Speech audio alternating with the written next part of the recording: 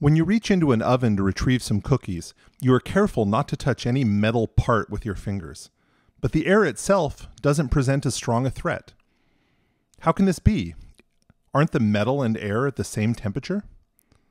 They are at the same temperature, but that doesn't mean they have the same thermal energy. The difference between these is crucial.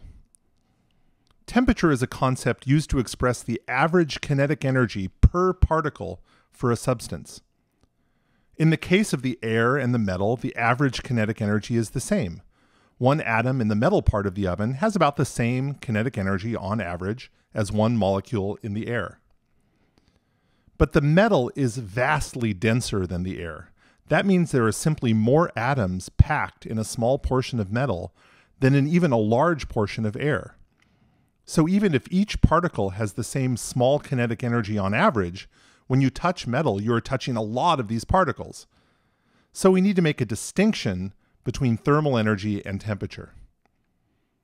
The graph at top gives us a sense of this relationship. As you'd expect, the higher the average kinetic energy, the higher the temperature, and the higher the thermal energy. The slopes of these lines are upward.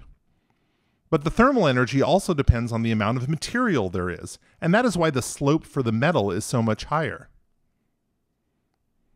It looks like if you ran these two lines backward to the left, they might actually meet at some temperature. This is true.